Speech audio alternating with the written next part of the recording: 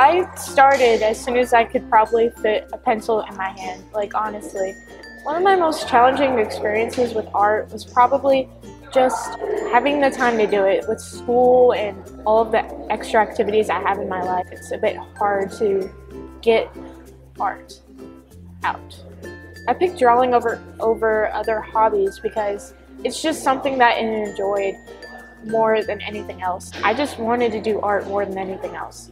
I have been inspired by other artists pursuing their dreams by Ashley Neal and she posts amazing drawings. She can do amazing portraits. She can do amazing nature drawings and it just blows me away how awesome her art is.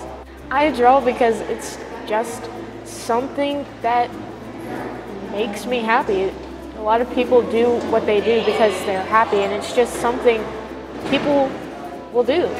One of the strongest memories I had from being a younger child was probably back in kindergarten. I remember drawing a picture of a my house and then my kindergarten teacher, she put it in the newspaper. It was probably the biggest thing I've ever had happen within my art career. Just keep practicing.